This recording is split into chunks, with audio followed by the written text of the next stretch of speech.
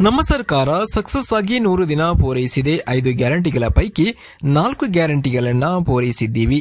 ನಿರುದ್ಯೋಗಿಗಳಿಗೆ ಮೂರು ಸಾವಿರ ಭತ್ಯೆ ನೀಡುವ ಗ್ಯಾರಂಟಿ ಮಾತ್ರ ಬಾಕಿ ಇದೆ. ಅದು ಮುಂದಿನ ದಿನಗಳಲ್ಲಿ ಜಾರಿಯಾಗುತ್ತೆ ಎಂದು ಸಹಕಾರಿ ಸಚಿವ ಕೆಎನ್ ರಾಜಣ್ಣ ಹೇಳಿದರು. ನಾವು ನುಡಿದಂತೆ ನಡೆದಿದ್ದೀವಿ. ಜನರು ಕೂಡ ಸಂತೃಪ್ತಿಯಿಂದ ಇದ್ದಾರೆ. ಲೋಕಸಭೆ ಚುನಾವಣೆ ನಮ್ಮ ಮನೆ ಹೊತ್ತಿನಲ್ಲಿ ಬಂದು ನಿಂತಿದೆ. ಎಲ್ಲಾ ಪಕ್ಷಗಳು ಚುನಾವಣೆಗೆ ಸಜ್ಜಾಗ್ತಿದೆ. ಕಾಂಗ್ರೆಸ್ ರಾಜ್ಯದಲ್ಲಿ ಅತಿ ಹೆಚ್ಚು ಲೋಕಸಭೆ ಕ್ಷೇತ್ರಗಳನ್ನು ಗೆಲ್ಲಲೇಬೇಕು. ನಾವು ಗೆಲ್ತೀವಿ ಎಂಬ ವಿಶ್ವಾಸವಿದೆ ಎಂದು ತಿಳಿಸಿದರು. ಮೂರು ಡಿಸಿಎಂ ಸ್ಥಾನಗಳನ್ನು ಸೃಷ್ಟಿ ಮಾಡಿದರೆ ಎಲ್ಲ ಸಮುದಾಯಗಳು ನಮಗೆ ಬೆಂಬಲ ನೀಡಲು ಅನುಕೂಲ ಆಗುತ್ತೆ. ಪರಿಶಿಷ್ಟ ಜಾತಿ, ಪಂಗಡ, ಅಲ್ಪಸಂಖ್ಯಾತರಿಗೆ ಹಾಗೂ ವೀರಶೈವ ಸಮುದಾಯಗಳಿಗೆ ಉಪಮುಖ್ಯಮಂತ್ರಿ ಸೃಷ್ಟಿ ಮಾಡಬೇಕು. ಇದು ನನ್ನ ವೈಯಕ್ತಿಕ ಅಭಿಪ್ರಾಯ. ಈ ಬಗ್ಗೆ ಕಾಂಗ್ರೆಸ್ ಹೈಕಮಾಂಡ್ ಪತ್ರ ಬರೆಯಲು ಇಚ್ಛಿಸಿದ್ದೀನಿ. ಇವತ್ತು ಪತ್ರ ಬರೆಯುತ್ತೇನೆ ಎಂದು ಅವರು ತಿಳಿಸಿದರು. ಮುಂದಿನ ತಿಂಗಳ ಮೊದಲ ವಾರದಲ್ಲಿ ಹೈಕಮಾಂಡ್ ಮುಖಂಡರನ್ನ ಭೇಟಿ ಮಾಡ್ತೀನಿ. ಯಾರಿಗೆ ಆಯ್ಕೆ ಮಾಡ್ತಾರೆ ಅಂತ ಹೈಕಮಾಂಡ್ ನಿರ್ಣಯ ಮಾಡಬೇಕು. ಹೈಕಮಾಂಡ್ ತೀರ್ಮಾನವೇ ನಮ್ಮೆಲ್ಲರ ತೀರ್ಮಾನ ಎಂದು ಅವರು ಹೇಳಿದರು. ನೂರು ದಿವಸಗಳ ಅವಧಿನಲ್ಲಿ. ಆದರೆ ಮುಂದೆ ಏನು ಲೋಕಸಭಾ ಚುನಾವಣೆ ನಮ್ಮ ಮನೆ ವಸ್ತುಲಲ್ಲಿ ಬಂದು ನಿಂತಿದೆ. ಆ ಚುನಾವಣೆಗೆ ಈಗಾಗಲೇ ತಯಾರಿಯನ್ನು ಎಲ್ಲ ಪಕ್ಷಗಳು ಕೂಡ ಮಾಡ್ತಕ್ಕಂಥದ್ದನ್ನು ಕೂಡ ನಾವೆಲ್ಲ ನೋಡ್ತಾ ಇದ್ದೇವೆ. ಅದು ನಮ್ಮ ರಾಜ್ಯದಲ್ಲಿ ವಿಶೇಷವಾಗಿ ಕಾಂಗ್ರೆಸ್ ಪಕ್ಷ ಅತಿ ಹೆಚ್ಚು ಲೋಕಸಭಾ ಸ್ಥಾನಗಳನ್ನು ಗೆಲ್ಲಬೇಕು ಅಂತಕ್ಕಂಥದ್ದು ನಮ್ಮೆಲ್ಲರ ಅಭಿಪ್ರಾಯವೂ ಕೂಡ ನಾವು ಗೆಲ್ತೇವೆ ಅಂತ ವಿಶ್ವಾಸನೂ ಕೂಡ ಇದೆ. ಈ ಒಂದು ವಿಶ್ವಾಸಕ್ಕೆ ಪೂರಕವಾಗಿ ಇನ್ನೂ ಹೆಚ್ಚು ಸಮುದಾಯಗಳು ಇನ್ನೂ ಹೆಚ್ಚು ನಮಗೆ ಬೆಂಬಲವನ್ನು ನೀಡ್ತಕ್ಕಂಥದ್ದಕ್ಕೆ ಅನುಕೂಲ ಆಗುತ್ತೆ ಮೂರು ಉಪಮುಖ್ಯಮಂತ್ರಿ ಸ್ಥಾನಗಳನ್ನು ಸೃಷ್ಟಿ ಮಾಡಿದ್ರೆ ಅಂತಕ್ಕಂಥ ದೃಷ್ಟಿಯಿಂದ ಒಂದನ್ನು ಪರಿಶಿಷ್ಟ ಜಾತಿ ಪಂಗಡದ ಸಮುದಾಯದ ಮುಖಂಡರಿಗೆ, ಎರಡನೇದು ಅಲ್ಪಸಂಖ್ಯಾತರ ಮುಖಂಡರಿಗೆ, ಮೂರನೇದು ಏನು ವೀರಶೈವ ಸಮುದಾಯ ನಮ್ಮನ್ನು ಬಿಟ್ಟು ಹೋಗ್ಬಿಟ್ಟಿದೆ, ಕಾಂಗ್ರೆಸ್ಸಿಗೆ ವಿರುದ್ಧ ಇದೆ ಅಂತಕ್ಕಂಥ ಭಾವನೆ ಇದೆ. ಅದು ಸುಳ್ಳು ಅಂತಕ್ಕಂಥದ್ದನ್ನು ಕಳೆದ ಚುನಾವಣೆಯಲ್ಲಿ ವೀರಶೈವ ಸಮುದಾಯದ ಬಹುತೇಕ ಮತಗಳು ಕೂಡ ಕಾಂಗ್ರೆಸ್ ಪಕ್ಷಕ್ಕೆ ಬಂದಿದೆ ಅಂತಕ್ಕಂಥದ್ದನ್ನು ಚುನಾವಣೆ ಫಲಿತಾಂಶದಿಂದ ನಾವು ಸ್ಪಷ್ಟವಾಗಿ ಹೇಳ್ಬೋದು. ಆದ್ದರಿಂದ ವೀರಶೈವ ಸಮುದಾಯ, ಪರಿಶಿಷ್ಟ ಜಾತಿ, ಪಂಗಡ ಮತ್ತು ಅಲ್ಪಸಂಖ್ಯಾತರು ಇನ್ನೂ ಹೆಚ್ಚು ಒಲವನ್ನು ಗಳಿಸಲಿಕ್ಕೆ ಪೂರಕವಾಗಿ ಮೂರು ಉಪಮುಖ್ಯಮಂತ್ರಿ ಸ್ಥಾನಗಳನ್ನು ಸೃಷ್ಟಿ ಮಾಡಬೇಕು ಅಂತಕ್ಕಂಥದ್ದು ನನ್ನ ಒಂದು ವೈಯಕ್ತಿಕ ಅಭಿಪ್ರಾಯ. ಈ ಅಭಿಪ್ರಾಯವನ್ನು ನಾನು ನಮ್ಮ ಕಾಂಗ್ರೆಸ್ ಪಕ್ಷದ ಹೈಕಮಾಂಡ್ಗೆ ಮುಟ್ಟಿಸ್ತಕ್ಕಂಥ ಕೆಲಸವನ್ನು ಮಾಡೋದು ಸೂಕ್ತ ಅಂತೇಳಿ ನಾನು ಭಾವಿಸಿದ್ದೇನೆ. ಈ ಹಿನ್ನೆಲೆಯಲ್ಲಿ ನಾನು ಕಾಂಗ್ರೆಸ್ ಪಕ್ಷದ ಹೈಕಮಾಂಡ್ ಕೂಡ ಪತ್ರವನ್ನು ಬರಿಬೇಕು ಅಂತಕ್ಕಂಥದ್ದು ತೀರ್ಮಾನ ಮಾಡಿದ್ದೀನಿ, ಇವತ್ತು ನಾಳೆ ಬರಿತೇನೆ. ನಾನು ಅವರೆಲ್ಲ ವರ್ಕಿಂಗ್ ಕಮಿಟಿ ಮೀಟಿಂಗ್ ಹೈದ್ರಾಬಾದ್ನಲ್ಲಿ ಇರೋದರಿಂದ ಎಲ್ಲ ಬ್ಯುಸಿ ಇರ್ತಾರೆ. ನಮಗೂ ಕೂಡ ಸೆಪ್ಟೆಂಬರ್ ತಿಂಗಳಲ್ಲಿ ಜನರಲ್ ಬಾಡಿಗಳು, ಸಹಕಾರಿ ಇಲಾಖೆಗಳಲ್ಲಿ, ರಾಜ್ಯದಲ್ಲಿ ಮತ್ತು ರಾಷ್ಟ್ರಮಟ್ಟದ ಎಲ್ಲ ಸಂಸ್ಥೆಗಳು ಕೂಡ ಇದ್ದಾವೆ. ಆ ದೃಷ್ಟಿಯಿಂದ ನಾನು ಕೂಡ ಮುಂದಿನ ತಿಂಗಳ ಮೊದಲನೇ ವಾರದಲ್ಲಿ ಕೇಂದ್ರದ ಎಲ್ಲ ನಮ್ಮ ಕಾಂಗ್ರೆಸ್ ಹೈಕಮಾಂಡ್ ಮುಖಂಡಗಳೆಲ್ಲರೂ ಕೂಡ ಭೇಟಿ ಮಾಡಿ ಈ ಬಗ್ಗೆ ಮನವರಿಕೆ ಮಾಡುವಂಥ ಪ್ರಯತ್ನವನ್ನು ಮಾಡ್ತೇನೆ.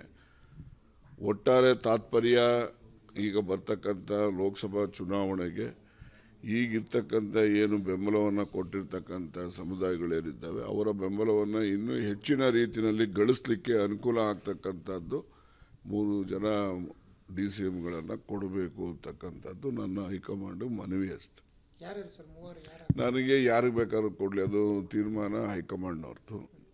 ನನಗೇನು ಬೇಕಿಲ್ಲ ಮತ್ತು ಯಾರಿಗೆ ಆಯ್ಕೆ ಮಾಡ್ತಾರೆ ಈ ಸಮುದಾಯಗಳಲ್ಲಿ ಅದು ಹೈಕಮಾಂಡ್ ನಿರ್ಣಯ ಮಾಡಬೇಕು. ನಮ್ಮ ಕಾಂಗ್ರೆಸ್ ಪಕ್ಷದಲ್ಲಿ ಯಾವುದೇ ತೀರ್ಮಾನ ಇದ್ದರೂ ಕೂಡ ಹೈಕಮಾಂಡ್ ತೀರ್ಮಾನನೇ ನಮ್ಮೆಲ್ಲರ ತೀರ್ಮಾನ.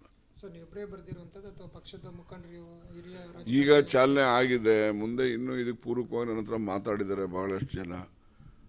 ಈ ರೀತಿಯ ಒಂದು ಪ್ರಸ್ತಾಪ ಮಾಡಿರ್ತಕ್ಕಂಥದ್ದು ಪಕ್ಷದ ಹಿತದೃಷ್ಟಿಯಿಂದ ಸೂಕ್ತ ಇದೆ ಅಂತೇಳಿ ನನಗೆ ವೈಯಕ್ತಿಕವಾಗಿ ಅಭಿಪ್ರಾಯಗಳನ್ನು ತಿಳಿಸಿದ್ದಾರೆ. ಮುಂದೆ ಯಾರು ಈ ಅಭಿಪ್ರಾಯಕ್ಕೆ ಸಹಮತಿಯನ್ನು ವ್ಯಕ್ತಪಡಿಸ್ತಾರೆ ಅವ್ರನ್ನೂ ಕೂಡ ಜೊತೆಯಲ್ಲೇ ಕರ್ಕೊಂಡು ಹೋಗ್ತೀವಿ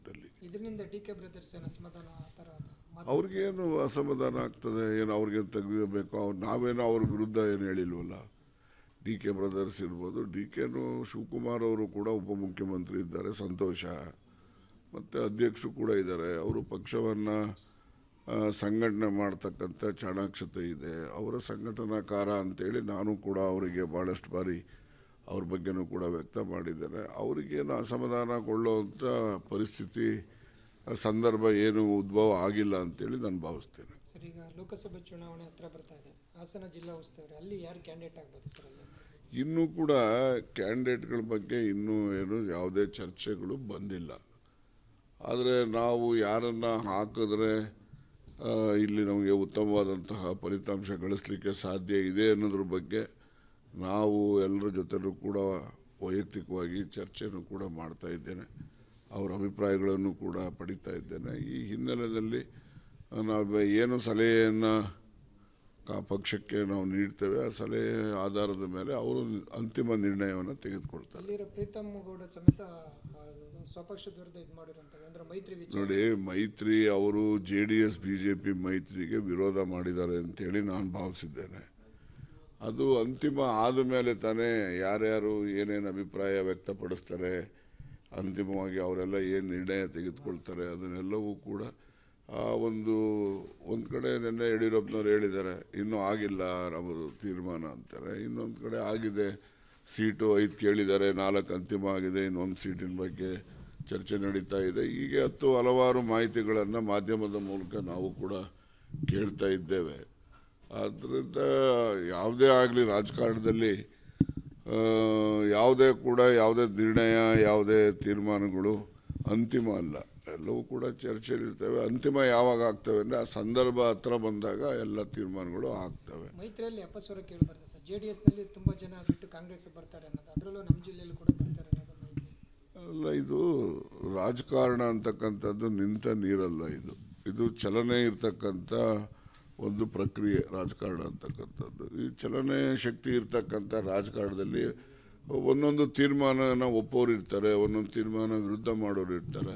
ಹೀಗೆ ಆ ಒಂದು ಸೂಕ್ತ ಸಂದರ್ಭಗಳಲ್ಲಿ ಅವೆಲ್ಲ ನಿರ್ಣಯವನ್ನು ಅವರು ಸ್ಥಳೀಯ ಪರಿಸ್ಥಿತಿಗೆ ಅನುಗುಣವಾಗಿ ತೀರ್ಮಾನಗಳನ್ನು ತೆಗೆದುಕೊಳ್ತಕ್ಕಂಥದ್ದು ರಾಜಕಾರಣದಲ್ಲಿ ನಡೀತಾ ಇರ್ತಕ್ಕಂಥ ಸಂಭಾವ್ಯಗಳು. ನನಗೆ ಗೊತ್ತಿಲ್ಲಪ್ಪ ನನಗೆ ಗೊತ್ತಿಲ್ಲ. ನನಗೆ ಗೊತ್ತಿಲ್ಲ ನಿಮ್ಮ ನೀವು ಹೇಳಿದ್ದೆ ನನಗೆ. ಬಿಜೆಪಿಯ ಹಾಲಿ ಸಂಸದರೇನಾದರೂ ಕಾಂಗ್ರೆಸ್ಗೆ ಬರುವಂತ ಸಾಧ್ಯತೆ ಇದೆಯಾ? ಇಲ್ಲ ಅವ್ರು ಹೇಳಿದ್ದಾರೆ ನಾನು ರಿಟೈರ್ ಆಗ್ಬಿಟ್ಟು ನಾನು ನಿನ್ನೆ ಯಾವುದೋ ಒಂದು ಇಂಟರ್ವ್ಯೂನಲ್ಲಿ ರಾತ್ರಿ ನೋಡ್ತಾ ಇದ್ದೆ. ಅಲ್ಲ ಇದು ಇಡೀ ಇಡೀ ರಾಜ್ಯದಲ್ಲಿ ರಾಜ್ಯದಲ್ಲಿ ಎಲ್ಲಾದರೂ ನೋಡಿ ರಾಜ್ಯದಲ್ಲಿ ಈಗ ಒಂದೊಂದು ತೀರ್ಮಾನಗಳು ಆದಾಗ ರಾಷ್ಟ್ರ ಮಟ್ಟದಲ್ಲಿ ರಾಜ್ಯ ಮಟ್ಟದಲ್ಲಿ ಪಕ್ಷದ ವರಿಷ್ಠಗಳು ತೀರ್ಮಾನ ತೆಗೆದುಕೊಂಡಾಗ ಆ ತೀರ್ಮಾನಕ್ಕೆ ಅನುಗುಣವಾಗಿ ಕೆಲವು ಜನ ಬೆಂಬಲಿಸ್ಬೋದು, ಕೆಲವು ಜನ ಅಸಮಾಧಾನ ವ್ಯಕ್ತಪಡಿಸ್ಬೋದು. ಹಾಗಾಗಿ ಅವರುಗಳು ಆ ತೀರ್ಮಾನದ ಹಿನ್ನೆಲೆಯಲ್ಲಿ ಅವರು ರಾಜಕಾರಣದ ಬದಲಾವಣೆಗಳು ಕೂಡ ಆಗ್ತವೆ. ಬಿ ಜೆ ಪಿಲೂ ಆಗ್ತವೆ ಜೆ ಡಿ ಎಸ್ಸಲ್ಲೂ ಆಗ್ತವೆ. ಎಲ್ಲ ರಾಜಕೀಯ ಪಕ್ಷಗಳಲ್ಲೂ ಸರ್ವೇ ಸಾಮಾನ್ಯವಾಗಿ ಆಗ್ತಕ್ಕಂಥದ್ದು ಇದೆ. ಈಗ ಸೋಮಶೇಖರ್ ಅವರು ಬರ್ತಾರೆ ಕಾಂಗ್ರೆಸ್ಗೆ ಅಂತೇಳಿ ಮಾಧ್ಯಮದಲ್ಲಿ ತಿಳಿದು ಹಾಗೆ ಹೆಬ್ಬಾರ್ರವರು ಕೂಡ ಕಾಂಗ್ರೆಸ್ ಪಕ್ಷಕ್ಕೆ ಬರ್ತಾರೆ ಅಂತಕ್ಕಂಥದ್ದನ್ನು ನಮಗೆ ಮಾಹಿತಿ ಇದೆ. ಹಾಗೆಯೇ ನಮ್ಮ ಪಕ್ಷದಲ್ಲಿರ್ತಕ್ಕಂಥ ಭೀಮಣ್ಣ ಅವರು ಶಾಸಕರಿದ್ದಾರೆ. ಅವರು ಕೂಡ ಆ ಒಂದು ಹೆಬ್ಬಾರರ ಸೇರ್ಪಡೆ ಬಗ್ಗೆ ಅವರು ಕೂಡ ಅವರ ವೈಯಕ್ತಿಕ ಅಭಿಪ್ರಾಯವನ್ನು ಸೂಚಿಸಿದ್ದಾರೆ. ಹೀಗೆ ಒಂದೊಂದು ತೀರ್ಮಾನಕ್ಕೂ ಕೂಡ ಪರ ವಿರುದ್ಧದ ಅಭಿಪ್ರಾಯಗಳು ರಾಜಕಾರಣದಲ್ಲಿ ಬರ್ತಕ್ಕಂಥದ್ದು ಸರ್ವೇ ಸಾಮಾನ್ಯ. ನೋಡಿ, ಇನ್ನೂ ಯಾವುದೇ ಅಭ್ಯರ್ಥಿಗಳ ಬಗ್ಗೆ ಚರ್ಚೆ ಆಗಿಲ್ಲ. ಸೋಮಣ್ಣವ್ರು ಬರ್ತಾರೆ ಅನ್ನೋದು ಗಾಳಿ ಸುದ್ದಿ. ಇನ್ಯಾರೋ ಬರ್ತಾರೆ ಅನ್ನೋದು ಕೂಡ ಎಲ್ಲನೂ ಕೂಡ ಸುದ್ದಿಗಳೇ ಹೊರತು ತೀರ್ಮಾನಗಳಲ್ಲ ಅವು. ಕತೆ ಅವ್ರನ್ನ ಕೇಳಬೇಕಪ್ಪ. ಮುದ್ದನ್ಮೇಗೌಡರಿಗೆ ಕೇಳ್ರಿ. ಅವರು ಚುನಾವಣೆಯಲ್ಲಿ ಯಾರೆಲ್ಲ ಅವರಿಗೆ ಶ್ರಮ ವಹಿಸಿದ್ರು, ಅವ್ರು ಬಿಟ್ಟೋಗೋವಾಗ ಅವ್ರಿಗೊಂದು ಮಾತೇ ಹೇಳಲಿಲ್ಲ ಇವರು. ಇವ್ರು ಈ ಥರ ಈಗ ಒಂದು ರೌಂಡ್ ಆಯ್ತಲ್ಲ, ಕಾಂಗ್ರೆಸ್ಸಲ್ಲಿ ಜಿಲ್ಲಾಧ್ಯಕ್ಷರು, ಶಾಸಕರು ಎಲ್ಲರೂ ಆಗಿದ್ದರು ಆಮೇಲಿಂದ ಜೆ ಡಿ ಎಸ್ಗೆ ಹೋಗಿ ಲೋಕಸಭೆಗೆ ನಿಂತು ಅಲ್ಲೂ ಸೋತರು. ಮತ್ತೆ ತಿರ್ಗಾ ಕಾಂಗ್ರೆಸ್ಸಿಗೆ ಬಂದರು. ಕಾಂಗ್ರೆಸ್ಸಲ್ಲಿ ಲೋಕಸಭಾನಲ್ಲಿ ಗೆದ್ದರು ಮತ್ತೆ ಅವರು ಬಿ ಜೆ ಪಿ ಇದು ಒಂದು ರೌಂಡ್ ಒಂದು ಸ ಒಂದು ಸ ಒಂದು ರೌಂಡ್ ಆಗೋಯ್ತು. ಈಗ ಸೆಕೆಂಡ್ ರೌಂಡ್ ಏನು ಮಾಡ್ತಾರೆ ನೋಡೋಣ. ಸರ್ ನನಗೆ ರಾಜ್ಯದಲ್ಲಿ ಇಡೀ ರಾಜ್ಯದಲ್ಲಿ ಬಿಜೆಪಿ ಹಾಲಿ ಸಂಸದರು ಸಾರಿ ಕಾಂಗ್ರೆಸ್ ಬರ್ತಾರೆ ಬಿಜೆಪಿ ಹಾಲಿ ಸಂಸದರು ಹಾಲಿ ಸಂಸದರು ಕಾಂಗ್ರೆಸ್ಸಿಗೆ ಬರ್ತಾರೆ ಅಂತೇಳಿ ನನ್ನ ಹತ್ರ ಮಾಹಿತಿ ಇಲ್ಲ ಬಟ್ ಬಹಳಷ್ಟು ಜನ ಸಂಸದರು ಚುನಾವಣೆಗೆ ನಾವು ಸ್ಪರ್ಧೆ ಮಾಡಲ್ಲ ಅಂತೇಳಿ ಅವ್ರ ಪಕ್ಷದ ಹೈಕಮಾಂಡ್ಗೆ ಅವ್ರು ತಿಳಿಸಿದ್ದಾರೆ ಅಂತೇಳಿ ನನಗೆ ಮಾಹಿತಿ ಇದೆ.